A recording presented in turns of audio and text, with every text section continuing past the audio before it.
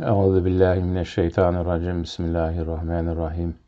Elhamdülillahi rabbil alamin. Salatu vesselam ala Resulina Muhammedin ve ala alihi ve sahbihi ecmaîn. Rabbi şrah li sadri ve yessir li emri ve hlul ukdeten min lisani yefkahu kavli. Rabbi zidni ilmen ve fehmen ve elhekni bis salihin. Bugünkü Arapça dersinde ders 17 kısa bir ders konusu gayrimunsarif olan kırık çoğullar. Yani cemi mükesser vardı. Cemi mükesser.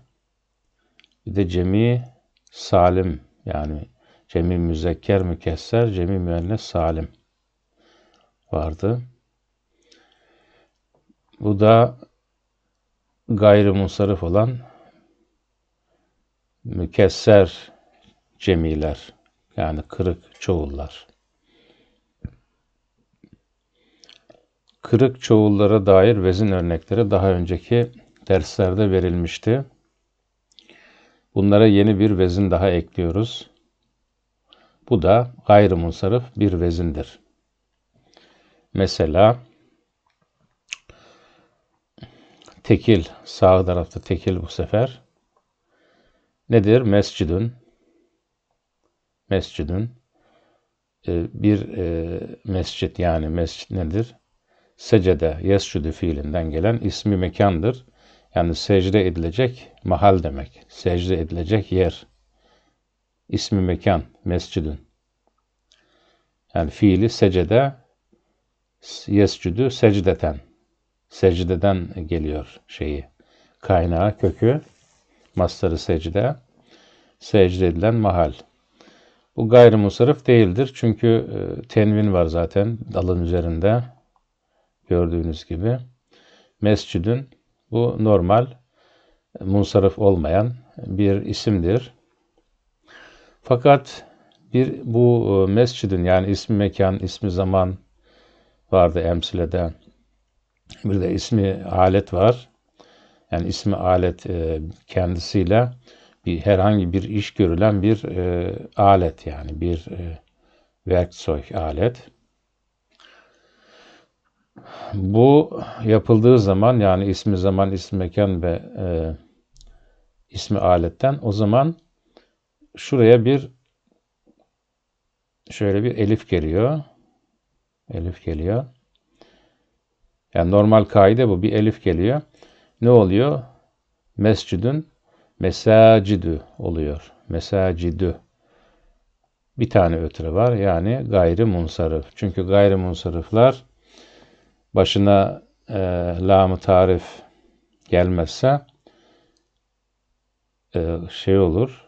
E, tenvin almaz.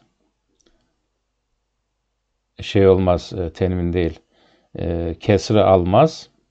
Kesre almaz. Lam tarif gelirse kesre alır. Yani tekrar edeyim.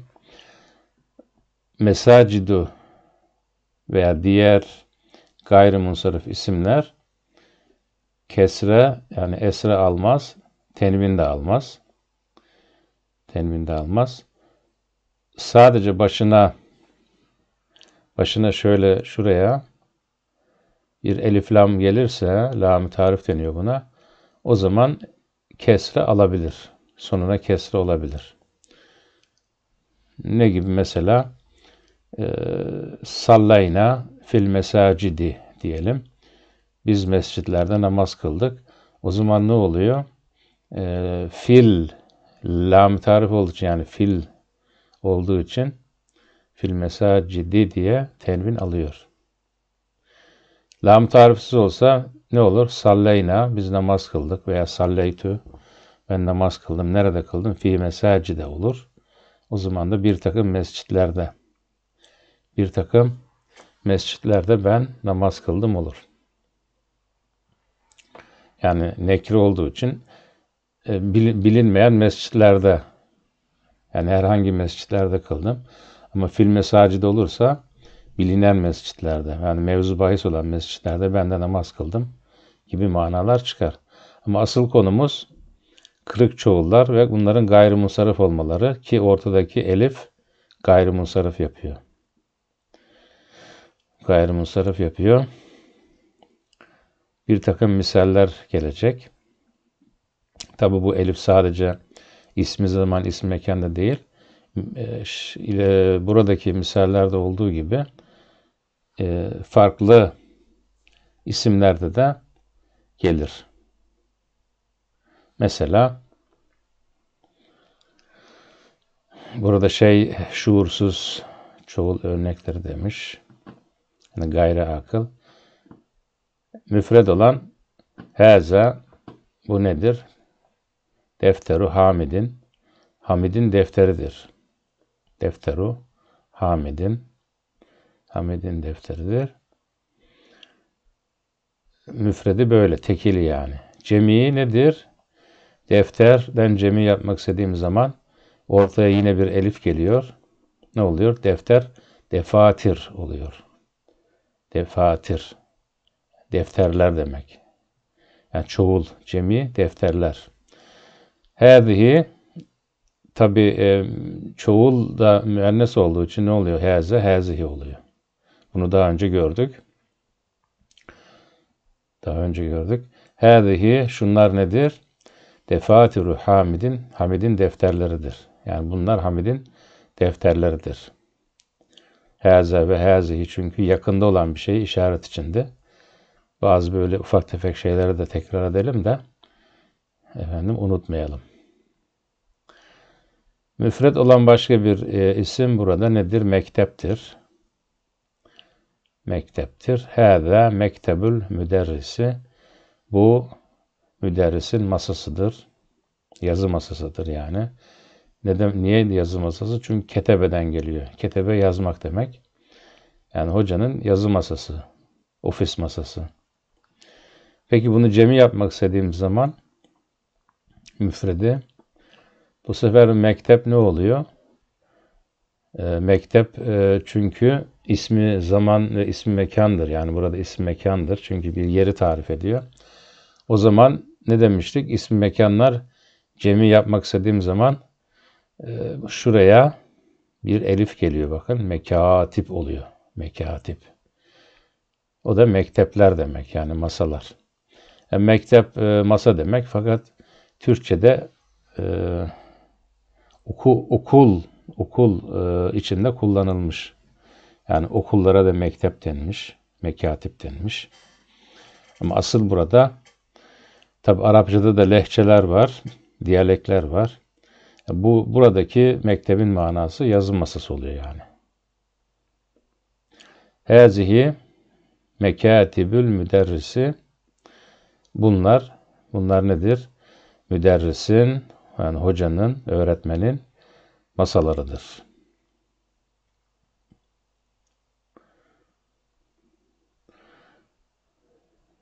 Beşinci misal yine e, çoğulu cemisi mükesser olan, kırık olan funduk. Yani bizim bildiğimiz e, fındık değil de funduk bu. Arapçada funduk otel demek. Galinde e, galinde pahalı. Yani guluv e, kelimesinden geliyor galin. Guluv aşırı demek. Guluv. Hâzâ fündukun galin. Bu e, pahalı bir oteldir. Hani tatil zamanı otellere gitmek isteyenler olabilir. Efendim, e, bir otel buldunuz ama pahalı. Hani aranızda böyle hani e, Arapça konuşulması gereken bir yerdeyse ne der insan? Veya e, başka bir dilde konuşuluyor. Siz de aranızda iki arkadaş e, anlaşılmasın diye böyle Arapça konuşuyorsunuz. Ne dersiniz o zaman? Hâzâ fündukun galin e, denir. Hatta bunu Araplar Arapça konuşanları vurgulamak için hâzâ fundugun galin cidden derler. Yani ciddi, gerçekten bu çok pahalı bir otel anlamında cidden derler. Ama bu misalde fundugun bu müfrettir. Müfrettir. müfret ne oluyor? Cemi yapmak için. Hâzihi fenâtiku fenâdiku gâliyetun. Burada tenvin almamış. Fenâtiku çünkü gayrimunsarıftır. Galiyetünde e, ve şimdi hazihi müfret bir kelime. Galiyetünde müfret. Şimdi fenadigu fundukun cemi gayrimunsarif fakat gayri akıl olduğu için nedir? İsmi işareti müfret müennestir. Hazihi müennes bir kelimedir. Onun için de sıfatı da sıfatı gayri akılların sıfatı neydi? Onlar da müfretti. Akılların sıfatları da cemi oluyordu. Cemi ise yani ismi cemi ise. Fakat burada fenatiku müfred olduğu için ve gayri akıl olduğu için galiyetün sıfatı da müfret gelmiştir. Yani galin aslında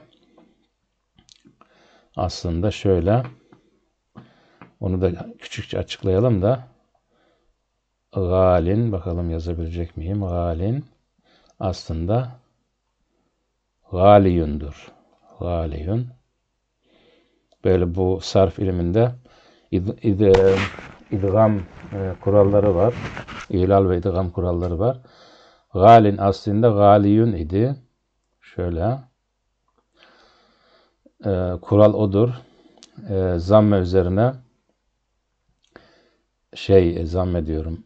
Y üzerine zamme ağır geldiği için Y'yi hasfettik. Yani kuralda öyle geçiyor. Y'yi hasfettik fakat tenvin kaybolmuyor. Tenvin de e, Y harfine Y harfine işaret etsin, dalalet etsin diye e, buradaki zamme ne oluyor? Tenvin yani zam, tenvin zammesi e, zamme tenvini bu sefer kesre tenvinine dönüşüyor. Galin oluyor. Yani bunun hikayesi böyle. Onun için burada müennes yani son harfi T olduğu için galiyetün geliyor. Çünkü e, şey yok. Y üzerinde zamme yok. Tenvin yok. O yüzden T harfi de sonunda olduğu için galiyetün diye gelmiş. Aslında nedir bu? Gali, galiyündür ama galin olmuş. Fakat evveline bir şey gelse öyle lam tarif gelse el gali olur. Çünkü lam tarif gelince bir tane şey oluyor, zamme oluyor. Y de geri gelmiş oluyor. El gali. El gali diye okunuyor. El gali. Veya el galiyü. Ama bu şekilde el e, galin galin. Master'da uluvündür. Uluv aşırı demek aslında. Uluvün. Şöyle. Hani e, şeyde hani itikatta, dinde mesela Şialarda var o ayrım. E, bazıları uluvdur Şia mezhebinde. Yani bunlar aşırı giderler. Bunların tabi e, şey olanları da var. Aşırı gitmeyen normalleri de var. Hani kendi halinde, inancında, itikadında. Bir de uluv yani gali olanları var. Ya da galun cemi müzekkeri. Aşırı gidenler var. Onlar da böyle şey yapar yani. E, işte kaba kuvvet kullanır. İşte öyle. Bunlara gali denir. Yani dini itikad adına kaba kuvvet kullanır. Efendim. Bunlar galilerdir. Şimdi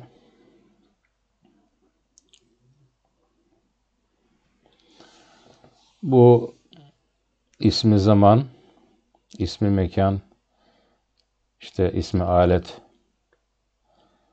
gibi mimle başlayan veya başlamayan bu vezinler var burada. Mesela mefail, mefailu, faail var, fevail var, faail var, faail. Şimdi bu e, emsile düzeyinde olanlar mesela şu yani mefail. Diğerleri biraz kafa karıştırabilir. Onları onun için e, atlamış atlamış olacağım. Yani bunlar mesela feal, bunlar nereden geliyor? Mefail işte şey ismi zaman ismi mekan veya ismi alet olabilir. Şu da e, şeyde var, emsilede var. İsmi ismi fail, e, müfret müennes, müzek, e, müfret müennes, cemi, e, cemi ama şey kırık cemi yani. Müfret müennes. E, yok karıştırdım. Cemi müennes mükesser bu. Fevailü. Cemi müennes mükesser. Müfret değil. Bu da gayri akıllarda kullanılır. Fevailü. Yani erkek e, dişliği olmayan isimlerde kullanılır. Mesela amil, amilün, avamilu gibi. Yani avamil dersi amiller olduğu için içinde bunları da akıl olmadığı için e, bunlarda erkek dişilik kullanılmaz. Böyle e, kırık cemiler kullanır. O da fevailüdür. Bu şekilde. Mefailü de ismi zaman, ismi mekan ve ismi alettir. Mefailü bu da e, şeydir yani. E, mesela mefailü 3, yani 3'ten 9'a kadar mefailü e, daha fazlası cemiler için kullanılır diye hatırlıyorum. Zaten bunlara da cem, e, müntehel cümü, müntehel cümü yani cemilerin sonu e, vezninden olan isimler demiş. Yani kelimenin ikinci harfinden sonra elif, eliften sonra iki veya üç harf bulunan cemi isimler. En meşhur kalıpları bunlarmış.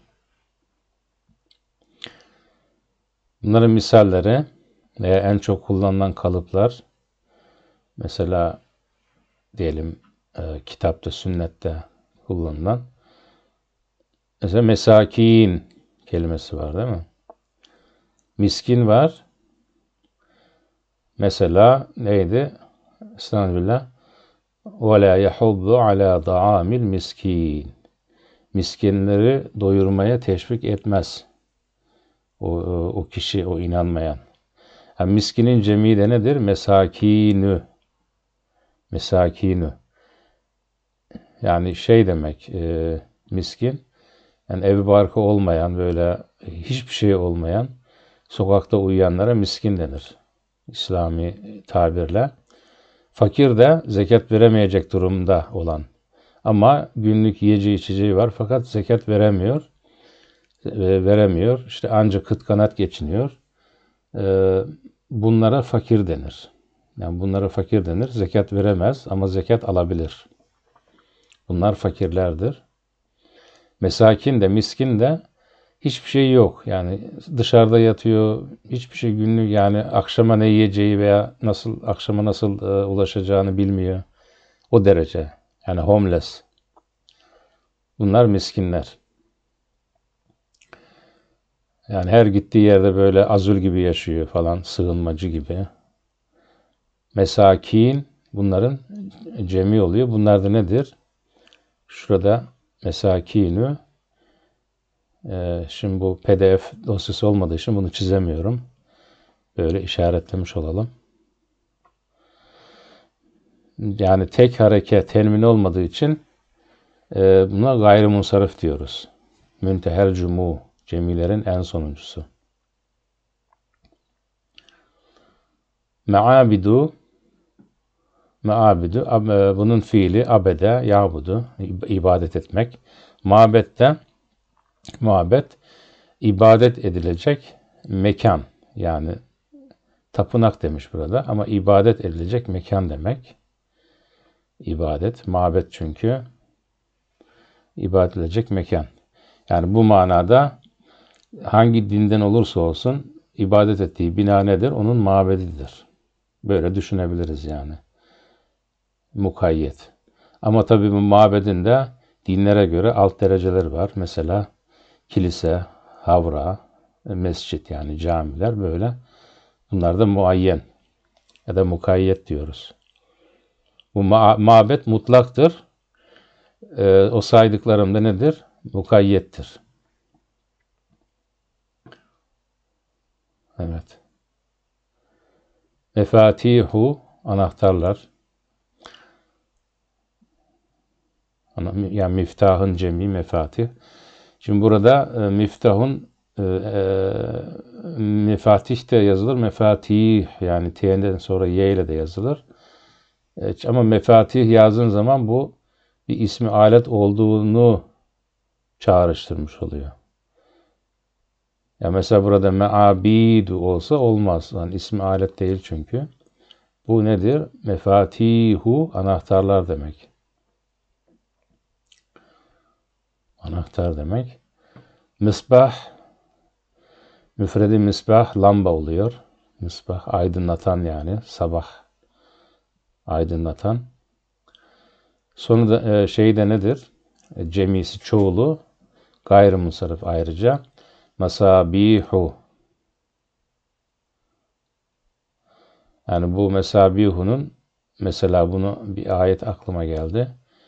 Gayrimunsarif olduğuna dair. Sure-i Mülk'te Estağfirullah ve lekad zeyyenne semâ'ed dünya bimesabiha diyor. Yani biz dünya semasını lambalarla süsledik. Yani yıldızları kastediyor. Lambalara benzetiyor.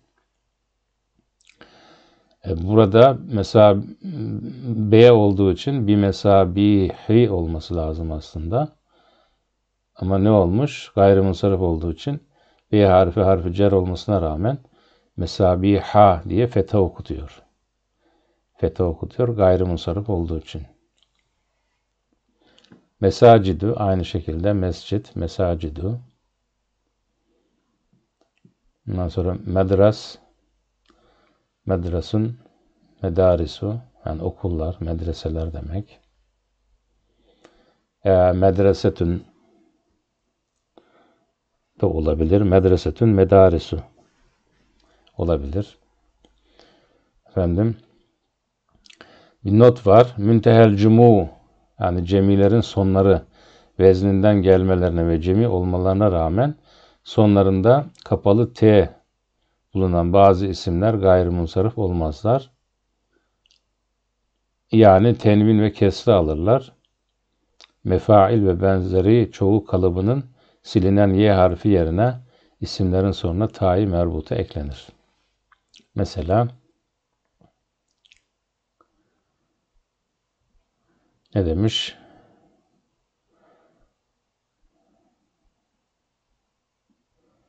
Esatizetün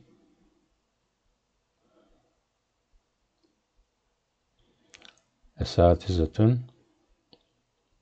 esatizu yani bunların ikisi de aynı manaya geliyor.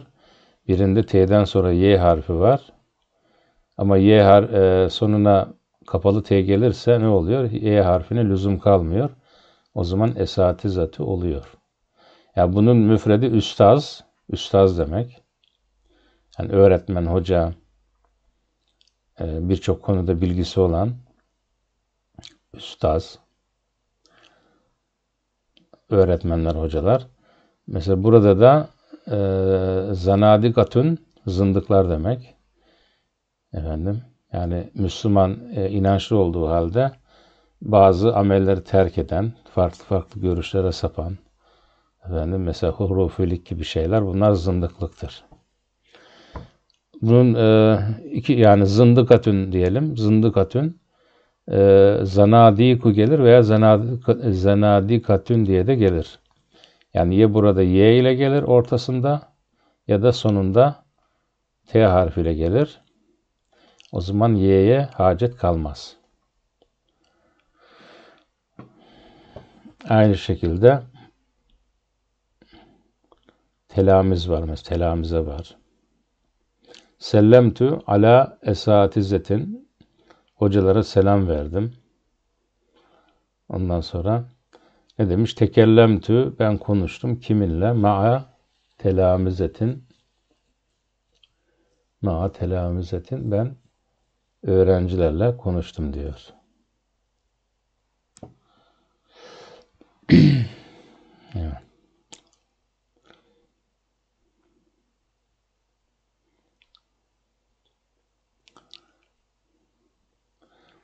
Bugünlük Bu kadar kafi olsun. Evet. Mübarek e, Zilhicce ilk günleri hayırlı mübarek olsun diyelim. E, işte aslında Fecir suresinden konu yapacaktım başka bir e, ders için, tefsir için. Orada çünkü ve aşr diye 10 günden bahsediyor. Yani 10 geceden bahsediyor. Leyal geceler demek. İşte orada Zülhac, e, Zülhicce'nin ilk 10 günü, Muharrem-i Şerif'in ilk 10 günü ve Ramazan-ı Şerif'in son 10 günü gibi rivayetler var. Tabi her zaman her şey vakit bulunmuyor. Efendim, hatta bir 10 e, gün daha var. İnsanın, insanın bu da her yerde yazmaz ama insanın vefat edeceğine son 10 gün e, kala da insan aslına dönermiş. Yani mesela salih bir insansa salih işler yaparmış. Öleceğine yakın son 10 gün. Hayatının son 10 günü. Bu şekilde e, bu da önemli bir son 10 günmüş. Yani birincisi Zülhicce'nin ilk 10 günü. İkincisi e, Muharrem-i Şerif'in ilk 10 günü. Yani yeni yıl girdikten sonra. Üçüncüsü Ramazan-ı Şerif'in son 10 günü. Dördüncüsü de insanın ömrünün son 10 günü. Böyle e, rivayetler var. Cenab-ı Hak Zilhicce ayını hayırlı mübarek eylesin. Hacca gidenlerin haccını kabul eylesin. Yani kurban kesenlerin veya kurban hibe edenlerin kurbanlarını kabul eylesin. Sonumuzu hayır eylesin. Subhane rabbike rabbil izzete amma yasifun ve selamun alel murselin velhamdülillahi rabbil alemin.